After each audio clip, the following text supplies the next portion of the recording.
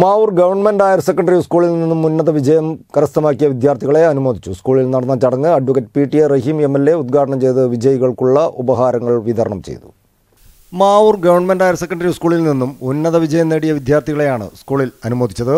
ഈ വർഷം S S L C പരീക്ഷയിൽ സ്കൂൾ നൂറ് ശതമാനം വിജയം കൈവരിച്ചിരുന്നു.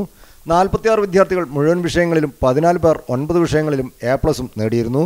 പ്ലസ് ടു പരീക്ഷയിലാവട്ടെ എൺപത്തിമൂന്ന് ശതമാനം വിജയവും ഇരുപത് പേർക്ക് മുഴുവൻ വിഷയങ്ങളിൽ എ പ്ലസും ലഭിച്ചിട്ടുണ്ട്. Advocate P T Rahim M L A ചടങ്ങ് ഉദ്ഘാടനം ചെയ്ത് വിജയികൾക്കുള്ള ഉപഹാരങ്ങൾ വിതരണം ചെയ്തു.